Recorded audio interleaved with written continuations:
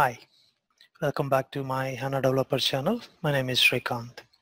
In today's session, we're going to look at some of the additional functionalities of calculation views in HANA XS Advanced Server. In my previous videos, I've shown you how to model a simple calculation view in XSA. In this session, we're going to see further modeling features provided in HANA 2.0 SP03 version. Let's look at them one by one. I'm going to log on to WebIDE for HANA. I already logged on here. And this is my project and I have created several uh, design time artifacts in my previous session. I'm going to use them in uh, today's session. Uh, I've got several tables and those tables got filled uh, using uh, CSV files. On top of those tables, I've created a basic dimension uh, type calculation view, which is um, business partner. Uh, and it has two different tables, which are business partner data and address data on the right side. So I'm going to make a simple join to connect these two tables and get the information from the uh, second table, which are the uh, the the other attributes of city, region, and country for the each for each business partner. Then I'm going to project them as a an output for this dimensional calculation view. I also have another calculation view here, which is um, a fact uh, cube-based calculation view, and uh, it is going to access another uh, set of tables which are sales order items and sales order um, header. I'm going to uh, align them to show in a um, in a better way. Yeah, um, I have sales order item and sales uh, and sales order header. I'm going to join these two tables uh, to get both header and item information. And I'm going to access another um, dimensional calculation view which I have just built before uh, that is for the business partner. So these are the two different calculation views I'm going to uh, use in today's session to explain the um, additional features of the calculation views in XSA.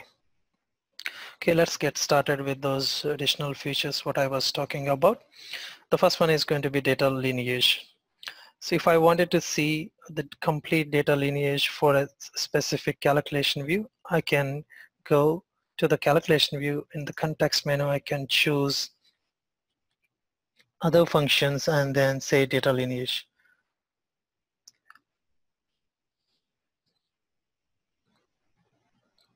So it is going to show uh, the source objects for building this calculation view there are three different sources.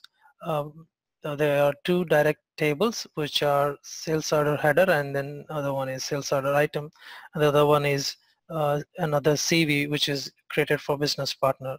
So I can further expand this uh, CV to see um, the data sources for those for those for, for, for this object. So I can see that this CV is using the business partner master data table and address uh, master data database table. So uh, with that, I, I, was able to see all the uh, data lineage for this particular calculation view. So this is the data lineage for a calculation view. Uh, I also ca uh, I also uh, can see the data lineage for a specific column in the calculation view. So how am I'm going to see that? I'm going to close this one. I'm going to access semantics and then I'm going to um, choose a column which is um, city and then I click on the data lineage. It is going to highlight uh, the data lineage for this particular column, how this data column is being projected from bottom to the top. Um, so similarly, I can also uh, get the data lineage for in for a column in any other view also. In this case, I'm going to get the data lineage for one of the fields in the business partner. So I'm going to select region and then say data lineage. It is going to show projection to the top. if I choose the other one country uh, it's going to display the other side of it because this this country field comes from the other uh, projection all the way up to uh, the semantics. Uh, this is about the data lineage. We can do data lineage for a column uh, and also we can do a data lineage for a calculation view. My next option is uh, getting the dependent objects to analyze the uh, impact. So whenever we perform any modification to the calculation view, we wanted to see the impact of that particular action. So how many um, downstream calculation views are getting affected with the change. So uh, uh, we used to do where-used list to get the list of objects which are affected by making a change to the cal current calculation view. Similarly, uh, in XSA, uh, we have got a functionality to check uh, the dependent objects for any specific calculation view. Uh, let's see how I'm going to do this here. So currently I'm accessing business partner, uh, a dimension, dimensional calculation view, and I wanted to see the impact analysis for this particular CV. So I go to the other actions and then say impact analysis. So it's going to display uh, all the calculation views or all the objects which are uh, using this particular calculation view in the system. So in, in this case, uh, CV business partner is being used by um, CV sales analysis. If there are any other further downstream views um, uh, using any of them, it is going to display uh, further to this. So with that, we can uh, get the impact analysis for any specific calculation view uh, uh, to list out all the objects and then we can take an action uh, accordingly to make the changes in in the downstream view, views. Uh, the next uh, the next feature I'm going to talk about is performance analysis. So with this feature, I'm going to know uh, how the tables are being accessed. Uh, are there any partitions involved in uh, in the source tables, etc. these are going to help me in understanding the data table size and um, and the data number of records uh, being processed in this particular calculation view, etc. So how do I'm go how do I do this one? I open a calculation view here and I'm going to switch on the performance analysis. As soon as I switch on the performance analysis, it's going to be uh, in, in, in every node, whatever I, I select, I'm going to see a performance analysis tab in the end uh, of the properties. So if I click on performance analysis tab for the um, uh, for the source table, which is in the bottom, I'm going to select this one and I can see that in my performance analysis tab, I have um, a data source which is the sales order item and I have 6046 entries coming from this table. And if I can switch to another table and I can uh, the header table I can see that number of rows are 1029 and I haven't had any partition on these tables so I don't get this one. So these are the different um, features which can help us in understanding uh, the data size and data number of records uh, when the calculation is uh, when the calculation view is being processed. Is debugging a CV. So I'm going to open a calculation view and, and I wanted to debug uh, by each node. So I wanted to know what is going, what is happening in each node.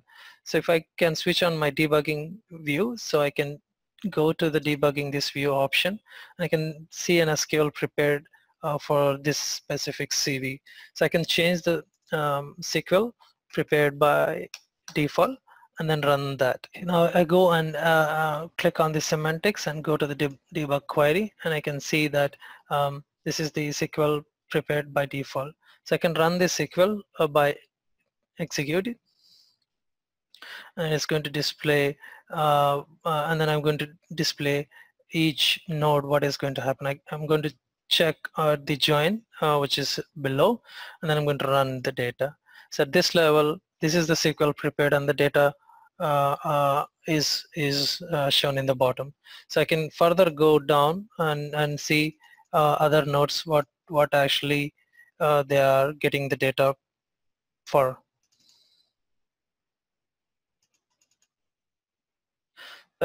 in this first join, I can see uh, this is the join and then I switch to debug query and then can run it. Uh, and then I see the data output for this particular join. Uh, similarly, I can go to any of the nodes and then run the query and even I can change the query to understand how the instantiation process is happening in the calculation uh, uh, uh engine. Uh, so there are several things you can do in the debug query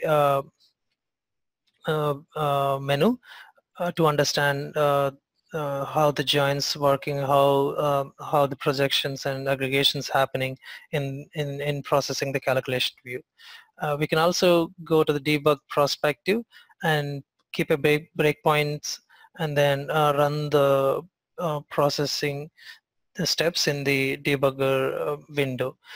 when we have several scripted based calculations which are user table user table defined functions, then we can use the debugger window to get into the uh, uh, uh, exact error and exact troubleshooting point what we wanted to know. So we're not showing this one in this example. Uh, I gave a simple example to show how the debugging a, a CV can uh, can can be done in XSA. And my next option uh, or feature is going to show you a rename and refactor. Uh, this is not a new feature or new um, thing in XSA. It's been there in uh, XS Classic also. So uh, I can actually go into the business partner CV and then choose other actions and then say rename and refactor.